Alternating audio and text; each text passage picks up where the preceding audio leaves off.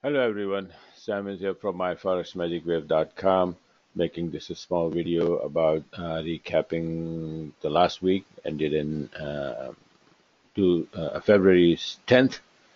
Uh, I wasn't able to make a video for a couple of weeks so decided to uh, do it this week. Uh, so let's get started.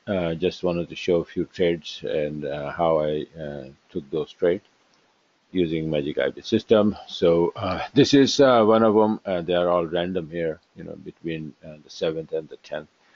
So this is uh, a Euro Yen 20 minute um, based on Euro weakness uh, was in the beginning of the week and then continue the whole week. So all Euro pairs, Euro Aussie, Euro Yen, Euro USD went down.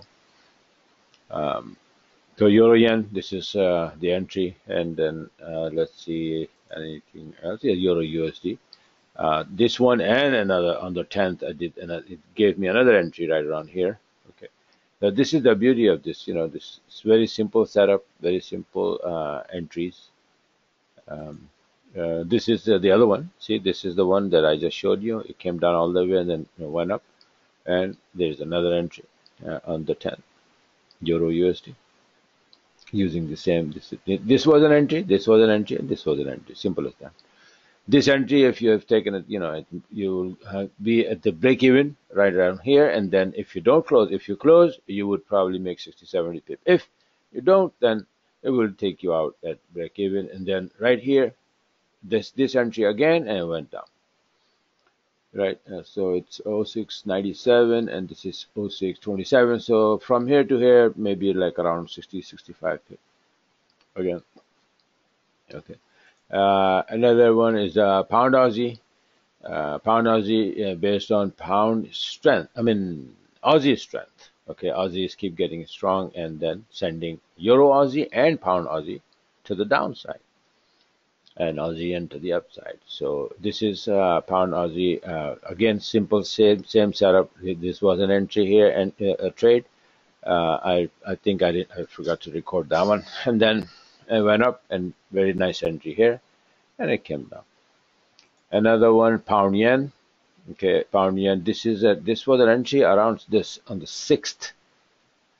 Okay, this is this on the sixth um, on, on Friday. No, not Friday uh, maybe the Monday, Monday, right? Yeah, early uh, Saturday. Uh, I mean Sunday or Monday.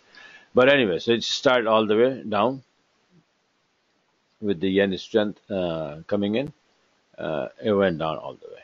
Uh, later it went up, by the way, but you know this is how it is. You, you need to know then when it is going to the, you know, making a lower swing or the higher swing when it's making a turn. So the price was above the wave, came down nicely, and then it started giving the entries.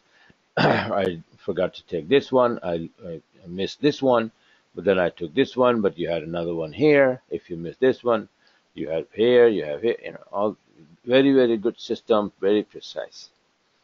Uh, this one again, this is on the 10th. You can see when it went up again after that drop, it went up all the way here to 42.13, and that's uh, uh, you know these are the highs and lows. See, this is WL means weekly low.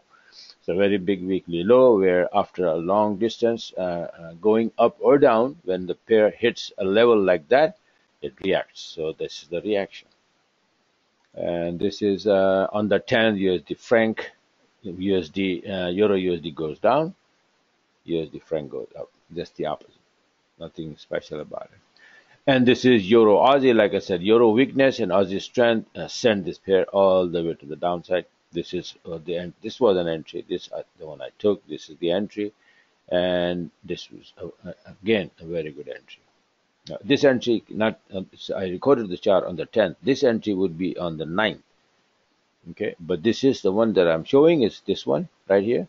You see all this time from here to here uh, from here to you don't have to worry about anything because un un unless this indicator goes all the way to the upside you don't When it goes all the way to the upside and turning to the downside and then candle turns the, the color, only then you make an entry.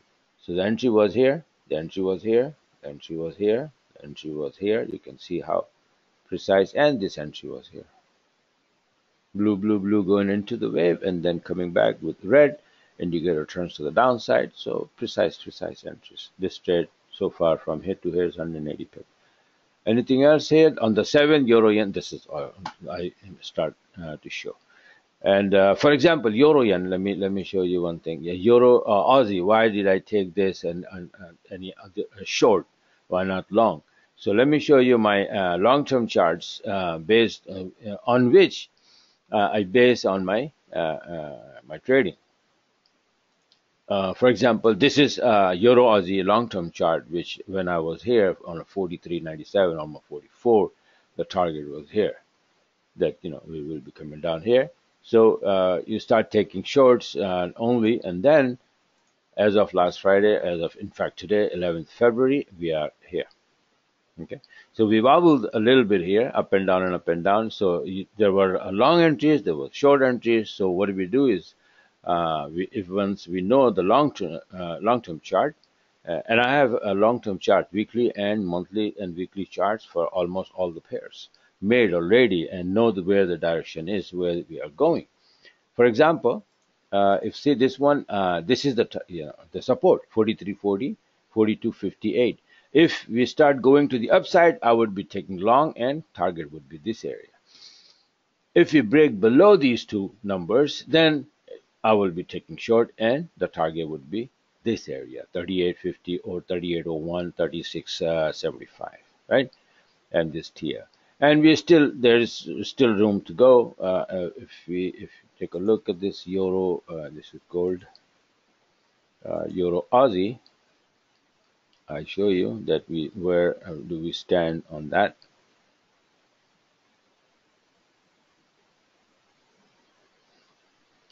I have too many things open, so taking time. Okay, here this is and then uh, 40 minute chart. Okay, so we are nicely coming down here. This is a 40 minute chart and 3801 is this line and 3675 is this. So we have a little more room to go and then we will see where it goes. Maybe it will bounce, uh, euro hold, or maybe we will go continue. Euro is getting very weak by the way, so we may go down a lot more on this pair. So this is uh, what I have already and I have like uh, indexes and uh, everything else. Uh, for example, euro index if I show you that why I think that Euro USD will be going down. See, this is my chart. I made it long time ago.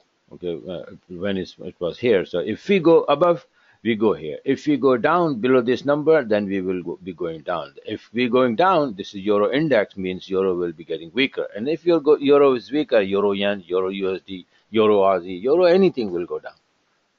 Understand? Euro pound, Euro pound is also going down. So this is how, uh, and my chart, um, where it goes. So this was also another, uh, you know, Elliott wave triangle. I chart, made this chart a long time ago on the 16th, the 21st December, of the, you know, 2016 that we're going to drop. So it went up a little bit, just testing the backside of this TL, rising TL, and then start dropping. And if it continue, we need AB is equal to CD. Uh, we have a long way to go to the downside. So if euro goes that way, if we break this line, if we break below uh, 1640, 1640 is the key. So that means euro is getting weaker. And you, what do you do? Go and look at the euro pairs. All the euro pairs will be going down. So pick and choose which one is going more faster, giving you more precise entries on my 40 minute chart. And this is how it looks on the 40 minute chart, euro index. You know, the 1920, we, we went up, we bounced some area, this area, we came down, and now we are going nicely so 1640 and 1633 is right here. We may bounce, make another short setup, then continue to the downside.